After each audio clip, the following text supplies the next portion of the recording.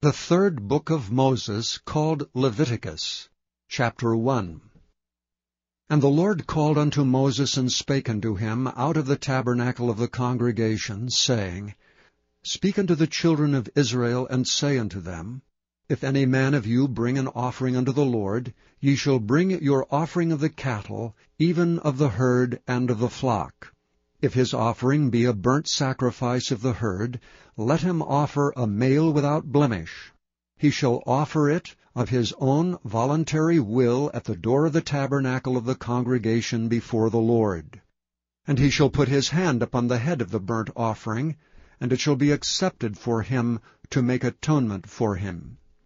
And he shall kill the bullock before the Lord, and the priests, Aaron's sons, shall bring the blood, and sprinkle the blood round about upon the altar that is by the door of the tabernacle of the congregation. And he shall flay the burnt offering, and cut it into his pieces. And the sons of Aaron the priest shall put fire upon the altar, and lay the wood in order upon the fire. And the priest Aaron's son shall lay the parts, the head, and the fat, in order upon the wood that is on the fire which is upon the altar. But his inwards and his legs shall he wash in water, and the priest shall burn all on the altar to be a burnt sacrifice, and offering made by fire of a sweet savour unto the Lord. And if his offering be of the flocks, namely of the sheep, or of the goats for a burnt sacrifice, he shall bring it a male without blemish, and he shall kill it on the side of the altar northward before the Lord. And the priest Aaron's son shall sprinkle his blood round about upon the altar. And he shall cut it into his pieces with his head and his fat, and the priest shall lay them in order on the wood that is on the fire which is upon the altar. But he shall wash the inwards and the legs with water, and the priest shall bring it all, and burn it upon the altar. It is a burnt sacrifice, and offering made by fire of a sweet savour unto the Lord. And if the burnt sacrifice for his offering to the Lord be of fowls, then he shall bring his offering of turtle doves or of young pigeons. And the priest shall bring it unto the altar, and wring off his head, and burn it on the altar. And the blood thereof shall be wrung out at the side of the altar, and he shall pluck away his crop with his feathers, and cast it beside the altar on the east part, by the place of the ashes. And he shall cleave it with the wings thereof, but shall not divide it asunder. And the priest shall burn it upon the altar, upon the wood that is upon the fire.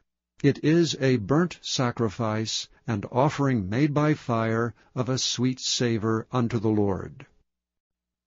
Chapter 2 and when any will offer a meat offering unto the Lord, his offering shall be of fine flour, and he shall pour oil upon it, and put frankincense thereon. And he shall bring it to Aaron's sons the priests, and he shall take thereout his handful of the flour thereof, and of the oil thereof, with all the frankincense thereof, and the priest shall burn the memorial of it upon the altar, to be an offering made by fire of a sweet savour unto the Lord. And the remnant of the meat offering shall be Aaron's and his sons. It is a thing most holy of the offerings of the Lord made by fire. And if thou bring an oblation of a meat offering, baken in the oven, it shall be unleavened cakes of fine flour mingled with oil, or unleavened wafers anointed with oil. And if thy oblation be a meat offering, baken in a pan, it shall be of fine flour unleavened, mingled with oil. Thou shalt part it in pieces, and pour oil thereon. It is a meat offering. And if thy oblation be a meat offering baken in the frying pan, it shall be made of fine flour with oil. And thou shalt bring the meat offering that is made of these things unto the Lord, and when it is presented unto the priest, he shall bring it unto the altar. And the priest shall take from the meat offering a memorial thereof, and shall burn it upon the altar. It is an offering made by fire, of a sweet savour unto the Lord. And that which is left of the meat offering shall be Aaron's and his sons.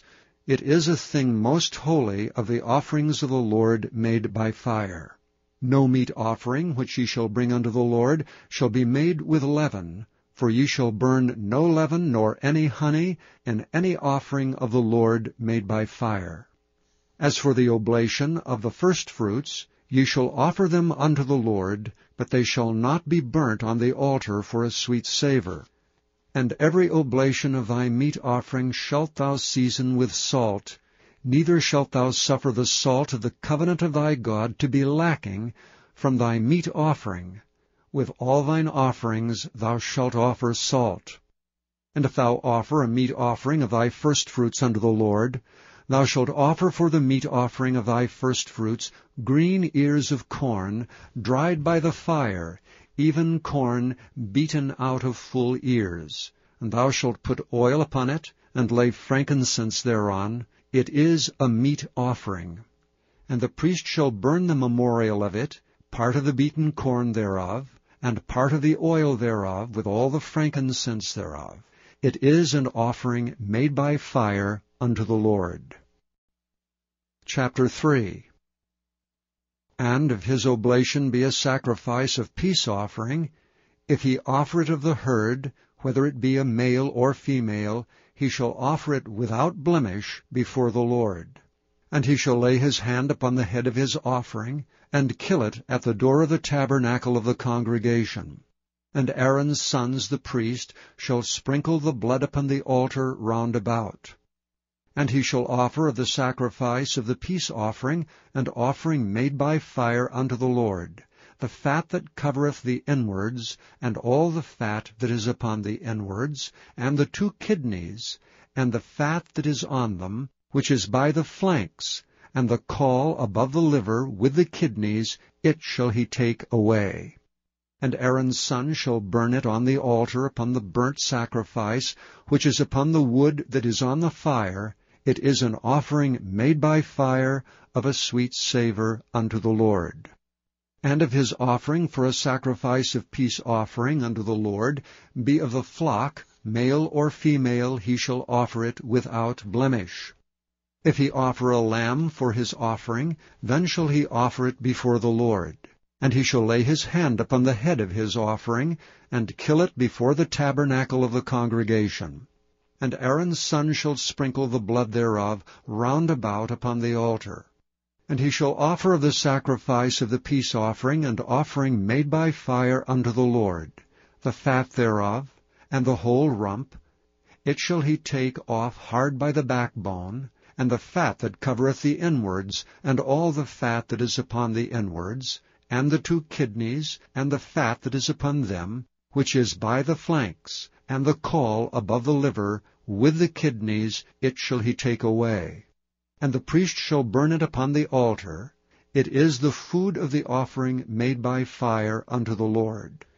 And if his offering be of a goat, then he shall offer it before the Lord. And he shall lay his hand upon the head of it, and kill it before the tabernacle of the congregation. And the sons of Aaron shall sprinkle the blood thereof upon the altar round about. And he shall offer thereof his offering, even an offering made by fire unto the Lord, the fat that covereth the inwards, and all the fat that is upon the inwards, and the two kidneys, and the fat that is upon them, which is by the flanks, and the caul above the liver, with the kidneys, it shall he take away. And the priest shall burn them upon the altar. It is the food of the offering made by fire for a sweet savour. All the fat is the Lord's. It shall be a perpetual statute for your generations throughout all your dwellings, that ye eat neither fat nor blood.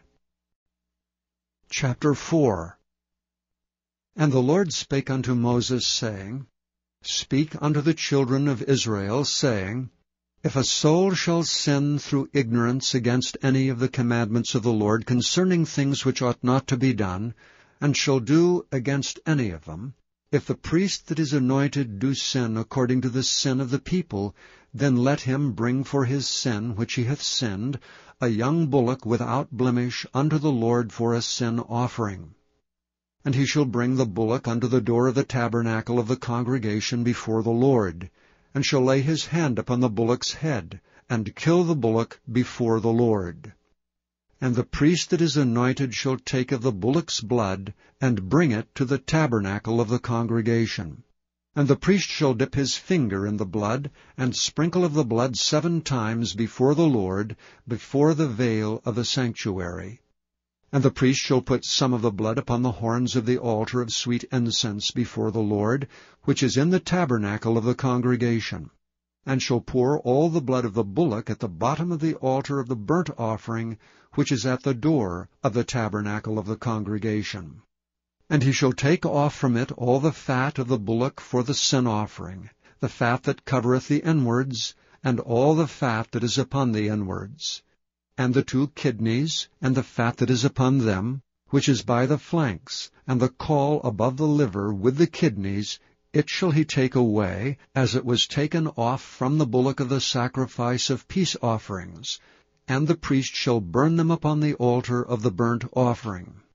And the skin of the bullock, and all his flesh with his head, and with his legs, and his inwards, and his dung, even the whole bullock shall he carry forth without the camp unto a clean place, where the ashes are poured out, and burn him on the wood with fire where the ashes are poured out shall he be burnt.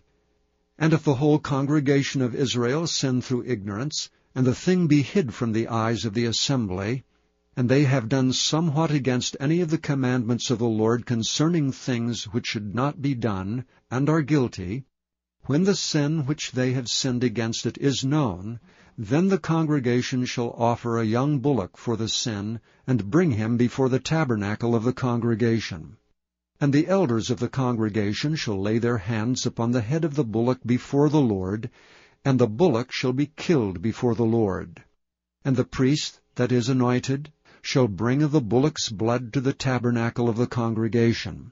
And the priest shall dip his finger in some of the blood, and sprinkle it seven times before the Lord, even before the veil. And he shall put some of the blood upon the horns of the altar which is before the Lord, that is in the tabernacle of the congregation, and shall pour out all the blood at the bottom of the altar of the burnt offering, which is at the door of the tabernacle of the congregation. And he shall take all his fat from him, and burn it upon the altar. And he shall do with the bullock as he did with the bullock for a sin offering, so shall he do with this, and the priest shall make an atonement for them, and it shall be forgiven them.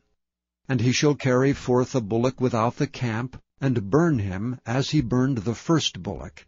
It is a sin offering for the congregation. When a ruler hath sinned, and done somewhat through ignorance against any of the commandments of the Lord his God concerning things which should not be done, and is guilty, or if his sin, wherein he hath sinned, come to his knowledge, he shall bring his offering, a kid of the goats, a male without blemish. And he shall lay his hand upon the head of the goat, and kill it in the place where they kill the burnt offering before the Lord. It is a sin offering. And the priest shall take of the blood of the sin offering with his finger, and put it upon the horns of the altar of burnt offering, and shall pour out his blood at the bottom of the altar of burnt offering.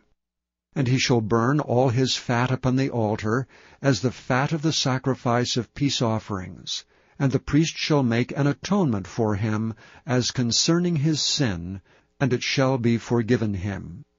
And if any one of the common people sin through ignorance, while he doeth somewhat against any of the commandments of the Lord concerning things which ought not to be done, and be guilty, or if his sin which he hath sinned come to his knowledge, then he shall bring his offering a kid of the goats, a female without blemish, for his sin which he hath sinned.